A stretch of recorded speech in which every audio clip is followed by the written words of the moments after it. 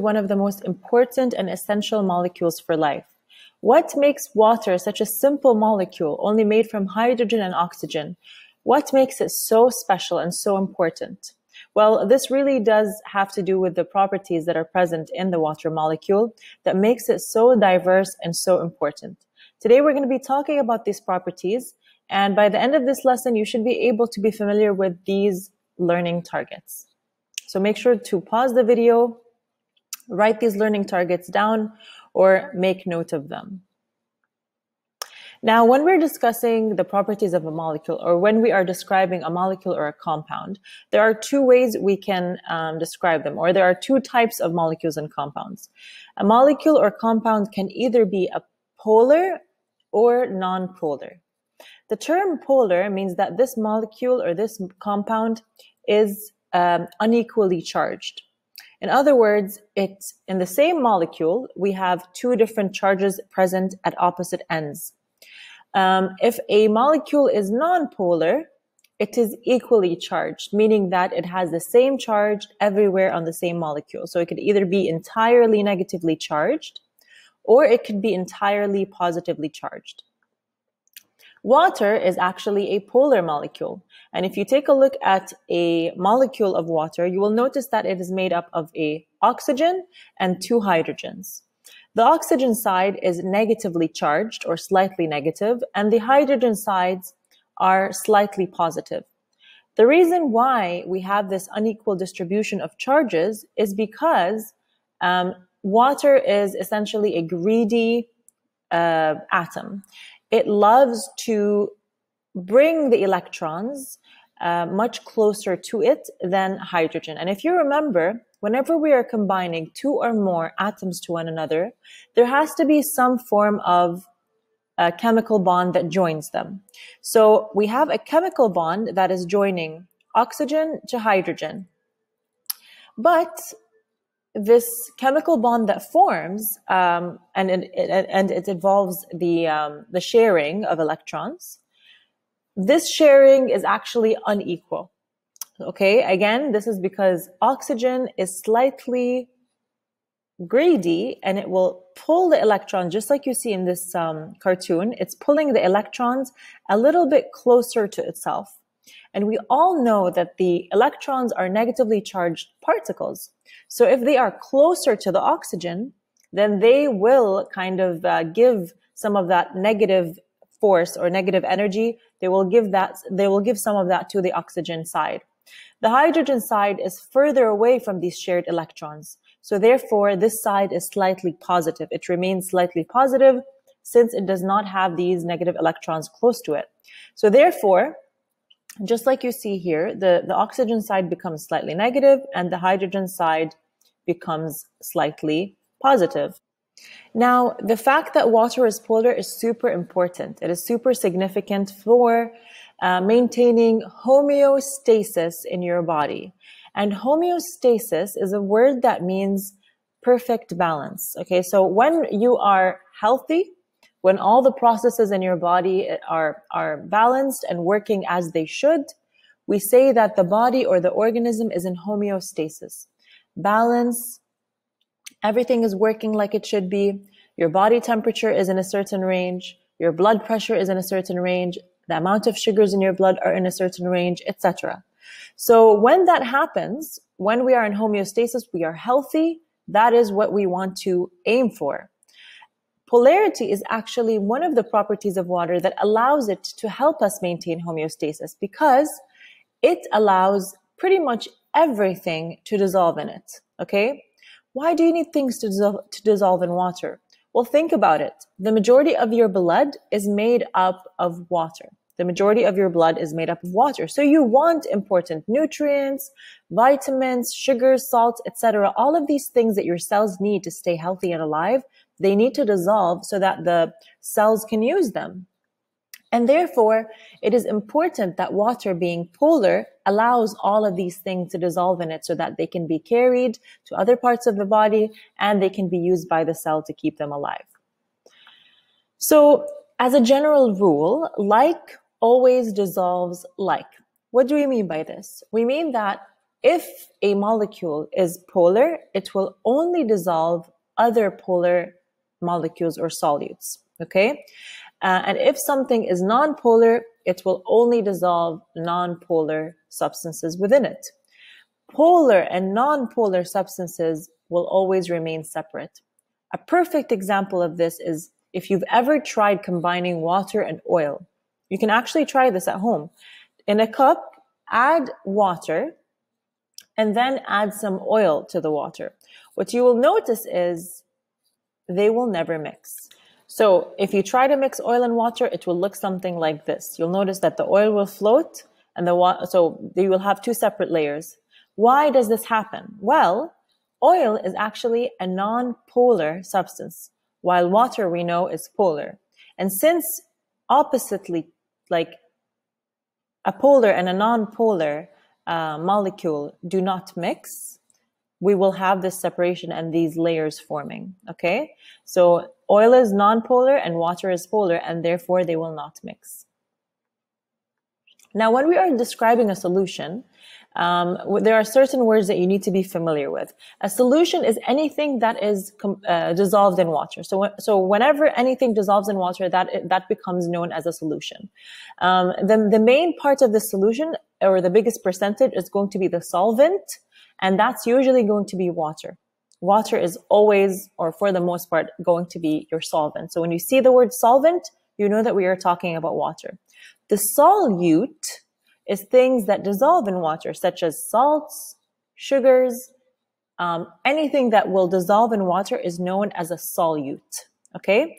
In order for a solution, a homogeneous, uh, basically a solution that you can't tell the part of, in order for a solution to form, both the solvent and the solute must be like. Or in other words, they must both be either polar or nonpolar. The example that you see here with the oil and water, this is not a solution or this is not a homogeneous solution, meaning that you can actually tell the layers. You can tell them apart. You can tell where the water is. You can tell where the, where the oil is. They did not mix. And for the, and this is because they are different. One, one is non-polar and one is polar. So when we are form, forming a solution, both the solvent and the solute have to be the same, either both non-polar or both polar. Now, when we're talking about the, the, the molecule or the water molecule, we know that whenever a molecule or a compound forms, we, hydrogen bonds must be involved. So there are actually uh, different kinds of bonds that are found in a water molecule. So there's two bonds that you need to be familiar with, a covalent bond and a hydrogen bond. So um, the, high, the water itself, water molecules, they will never be found on their own. Water molecules have the ability to stick to one another. They love to be near one another. And if you ever tried to put two water droplets, one next to the one next to another, you will notice that they kind of attract just like magnets and they form these two droplets. So the reason why this happens is because water molecules contain hydrogen bonds that basically um, uh, combine or, or bind one water molecule to another water molecule. So the hydrogen bonds are found outside of the water molecules and they combine two different water molecules to one another. We also have a covalent bond that forms within, inside the water molecule. And this covalent bond forms between hydrogen and oxygen. And if you remember from the previous slide, I mentioned that um, oxygen and hydrogen are sharing electrons. And that is why we have a covalent bond forming between the oxygen and the hydrogen of the same water molecule. So we have a covalent bond here being uh, happening between the hydrogen and the oxygen and the oxygen being slightly greedy. And that's why it is slightly negative. Um, and on the other hand, we also have a hydrogen bond between two water molecules. So I want you to pay attention to these keywords. Within the water molecule, we have a covalent bond. Between two water molecules, we have a hydrogen bond. Now, the hydrogen bond will always form between a positively or between a positive side and a negative side. Okay. So it's like almost if you ever had a magnet, right? And you try to um, combine the same side together, they will always repel. Okay. In order for a magnet to stick, stick to another magnet, you have to combine the opposite sides The same thing is happening here with the hydrogen bond. The hydrogen bond will only form between a positive hydrogen and a negative oxygen of two different water molecules. This is our first water molecule. This is our second water molecule. And the hydrogen bond is forming between these two sides, a positive side and an oppositely charged negative side. Now, hydrogen bonds are so important. They are so simple. They're actually one of the weakest bonds, but they are so important because they lead to all of the important properties of water that we are going to be discussing. So high specific heat, cohesion, adhesion, uh, universal solvent behavior, and the dissociation of water are all properties that are caused by the fact that water has hydrogen bonds. And I'm going to be discussing each one of these um, properties of water in more details in the next video.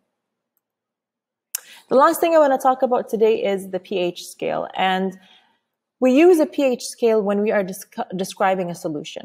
Okay, so a solution could either be an acid, it could be a base, or it might be neutral. So when we are trying to figure out what kind of solution do we have in front of us, we will use a pH test. You can actually test the solution to figure out where it lands on the scale. And then in order to describe how acidic or how basic it is, we will be use, we use this pH scale. So as we go, the pH scale always begins with zero and ends with 14. And as we move, um, any, so seven being the middle, the middle point. Seven is neutral. So when something is neither acidic nor basic, it is considered neutral.